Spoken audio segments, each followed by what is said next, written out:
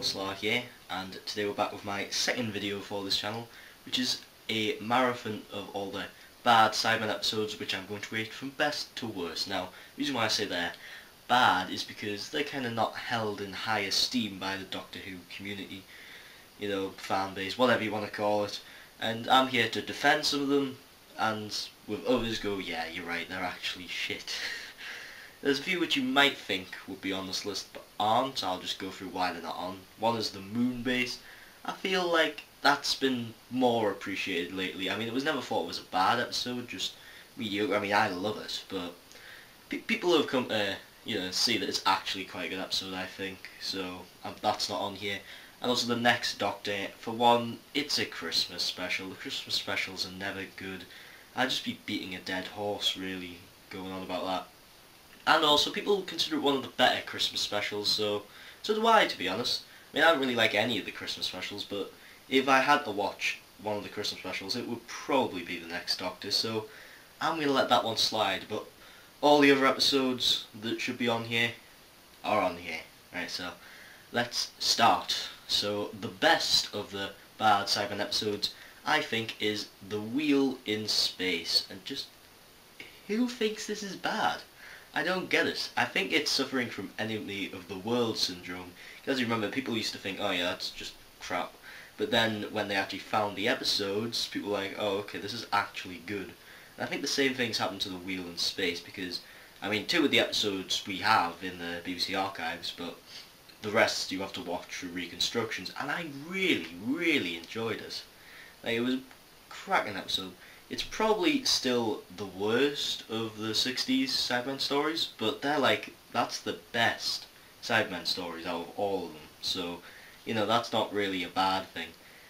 Well, yeah, but, and it's really good. It's kind of got a good atmosphere. It's by David Whitaker. He's written some really good stuff. I mean, he wrote Enemy of the World, also wrote the Daleks, Evil of Daleks, and he also written The Edge of Destruction, which not a fan of. He also written The Crusade. I, am not too keen on that either, but then I haven't watched that in years. I should probably go back and watch that. But anyway, The Wheel in Space is excellent. It has one flaw which kind of, you know, stops it from being really, really good, which is the fact that it's paced really, really badly. Like, it all, it all feels like build-up. Like, there's parts in the story where you think it's, you know, it, where you can tell it's meant to be action, you know, it's meant to be the story finally coming up and with all like shit going down, the climax, etc. But it still feels like build-up. I don't know why. It's it's just the way it was filmed, the way it was written. It it just doesn't quite work in the way I think it was intended to. But still, it's a very good episode, and I don't think anybody should consider it bad. Well, of course, it's your opinion, but I think most people consider it bad probably haven't seen it, or have only seen the two episodes which have been found. And out of context, you know, it's they're not actually very good. Now, the next story on here is Attack of the Cybermen. Now, this one's more of a split opinion kind of thing. Some people think, oh yeah, it's bad. Some people are like, oh no, it's not bad. I consider it the trash compactor story for the Cybermen because if you're familiar with that term, it's because of um, the Planet of the Daleks. That's considered the trash compactor Dalek story because it's got like all of the elements from previous stories just mashed together. And that's what Attack of the Cybermen's like, you know, it's got them trying to save Mondas from the 10th planet, it's got them in the sewers, like in the invasion. It's got Tombs from Tomb of the Cybermen and Telos from Tomb of the Cybermen. You know, and then it's got like, uh, you know, Earthshock Cybermen with David Banks. It's the Trash Compactor Cyberman story, and it's actually pretty good. It's not perfect. I did notice a few plot holes, but it's not meant to be a story that you take uber seriously. It's just something that you sit back and enjoy. It's one of those stories, but you know, you just kind of watch very casually, like with most classic Doctor Who, you actually have to pay attention to it. With New Who, I found I find you can like do something else while watching it, and that's one classic story which is like that, where you don't have to pay your full attention to it, uh, because it's a bit simple, really. Actually, it's really complicated, but it's just not complicated in a complicated way, if that makes any sense. It doesn't, but if you've seen Attack of Cybermen, you'll understand exactly what I mean. So the next one on the list is Revenge of the Cybermen. And um, it's okay, it's pretty good. I mean, I wouldn't consider it bad, but it's certainly on the edge. One thing which it really gets wrong is the Cybermen. and in the same way that the new series gets the Cybermen wrong, like they're just they seem more like robots than people inside robots. And it's not doesn't really make for compelling watching in comparison to like, you know, the creepy 60s Cybermen or even the 80s Cybermen were pretty good as well, apart from in Silver Nemesis, which I'll get onto that later.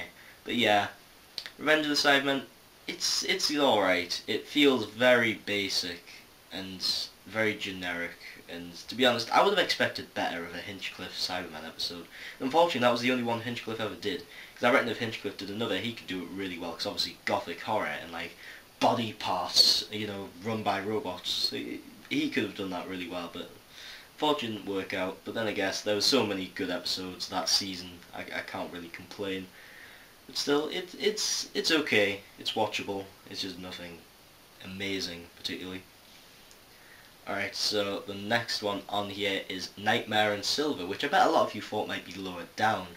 But I don't actually mind this episode. I mean, it's I'd say it just about lands on bad, but it's more closer to mediocre, to be honest. It wasn't that bad. It was fairly enjoyable. Again, I had the same problems with Revenge of the Cybermen, like I said, that the new series are like, the Cybermen, I didn't feel like they were, you know, humans made out of uh, you know robots with human parts inside them. They were just they just seemed like robots. I mean, obviously things like you know the Cyber Planner, the weird circus guy, you know they they look like it, but then they weren't actually you know fully converted Cybermen. And there's a few things which are wrong with this episode. One is the fucking children. I hate them. I hate. I mean, Doctor Who's never really done children well, but definitely in this, it, I mean, I didn't mind the boy so much, but the girl was such a whiny little bitch, constantly. Fortunately, they had the sense to have them incapacitated for about 80% of the episode, so that was good, and didn't have to hear them whining. Uh, but still, it was a bad choice to have them in there. And also the other thing which he gets wrong, which is really annoying, is the fucking cyber planner, or as he likes to call himself, Mr. Clever. You can see the huge glaring mistake already, and I haven't even talked about them. They're Cybermen. They don't have emotions. They would not call themselves something like Mr. Clever. I know it's invaded Matt Smith's brain, but it's still the cyber planner. Have you seen the cyber planner in Wheel of Space? It, it it's a, it's the cyber planner. It does not have emotions. It does not call itself Mr. Clever. It doesn't work. It just makes me want to puke with a, a carcass of a roadkill cat. It's horrible. But aside from that, the episode worked well. I like the, it brought back the base under siege kind of aspect, which you hadn't seen in quite a long time in Doctor Who uh, at that point. Probably not since like Peter Davison era. I don't know. I, I haven't really thought that through. Uh, but yeah, and another thing that they got right uh, is the Cybermen constantly upgrading themselves. I thought that was a really cool idea how they would just, you know, they face a problem, they get killed by it, and be like, oh, we'll just upgrade ourselves, and now we can survive it. And that was a cool idea. Uh, I doubt they'll keep it up, and they certainly didn't in the next Cybermen episode, which, oh, I forgot to say, that one isn't on this list either, because, I don't know, I think it's a bit too recent, Death in Heaven slash Dark Water. Uh, it's too recent, really, I couldn't be asked to rewatch it, and uh, Plus the Cybermen don't really do anything in it, they're just Missy's bitch. But I'm not going to talk about that episode. We're, we're leaving that alone for today. Yeah, in truth, I actually forgot that that was a Cyberman episode. Like, I forgot to watch that. But anyway, aside from that, Nightmare in Silver, it's, it's about bad, but it's watchable. It's watchable. And the next one on this list, the second worst Cyberman episode, Silver fucking Nemesis. This was meant to be the 25th anniversary for Doctor Who. It, it was terrible. For one, it had too many like subplots and people going after the Nemesis statue. I mean, it had the Cybermen, had Lady Peinforte was her name. I, I, I don't even remember nor care. Had the Nazis. You know, there's just too many groups going after this one one statue. And the Nats, I mean, it would be fine, you know, having three groups, but it's just the fact that Nazis kind of are in it and then just disappear. Like, there's no point to them. And also the Cybermen are really, really weak in this story. I mean like, you know how in Gold, in like Earthshock, in Revenge of the Cybermen, it would kind of weaken them, but wouldn't quite kill well, actually no, it did kill them in Revenge of the Cybermen, but in Earthshock, definitely, it would weaken them. Yeah, well in this, a fucking gold arrow to the chest unit kills them. Like seriously. It's ridiculous. There's two people with gold bow and arrows. Imagine, a, you know, fend off an entire platoon of Cybermen, and it makes them look stupid. Absolutely stupid.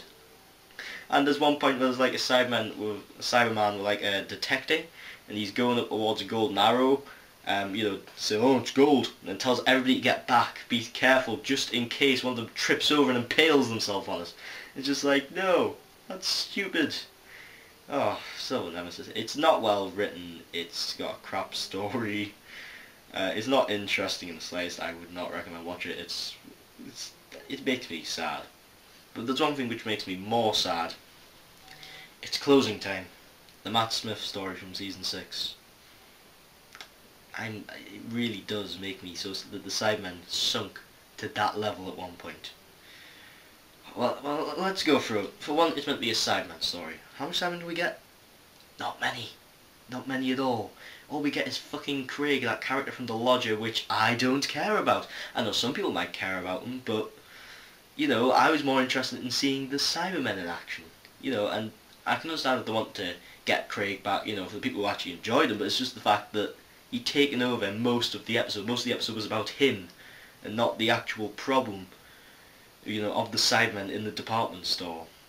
But Cybermen in the department store, that, that just seems like a stupid idea. It sounds like something that is, when I was six, I'm like, oh boy, Cybermen in the department store, that sounds fun. Like when I was being dragged around, I don't know, fucking John Lewis, uh, being like, oh, I'm bored, imagine there was a Cyberman coming out of there.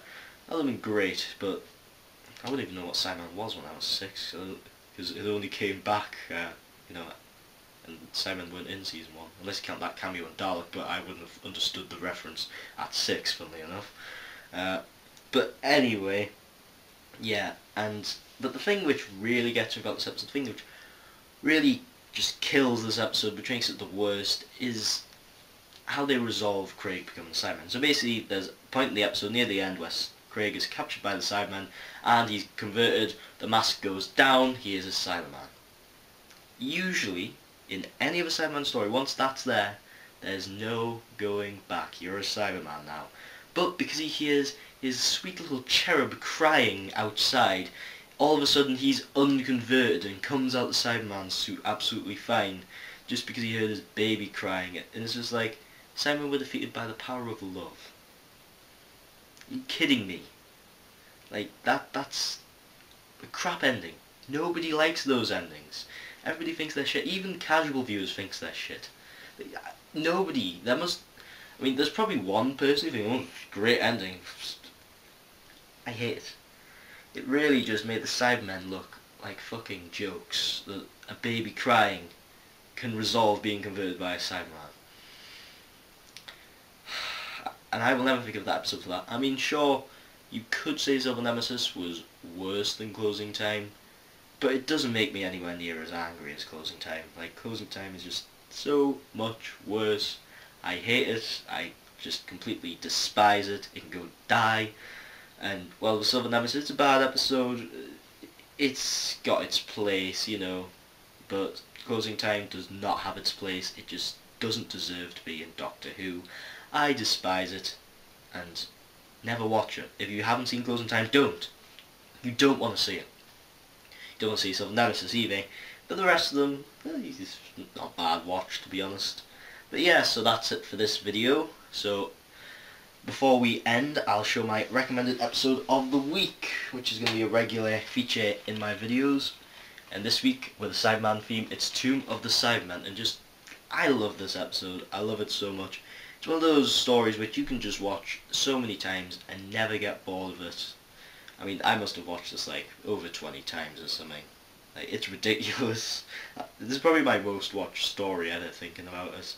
It's a great story, and the Cybermen are done really well, and there's just a kind of awe about it. This aura that it sends off, which, just a magic almost, which isn't really recaptured by many other stories. I mean, sure, it isn't like, you know, from a, you know, how would this describe this, like, objective point of view, the best thing ever. But if you're a, you know, Doctor Who fan, it, it's just magical, and I love it. So next week's episode, not sure what I'm going to be doing. Might be a top 5, might be an episode comparison, something like that. I'll, I'll decide closer to the time. Well, thanks for watching, I'll see you back next time in another video.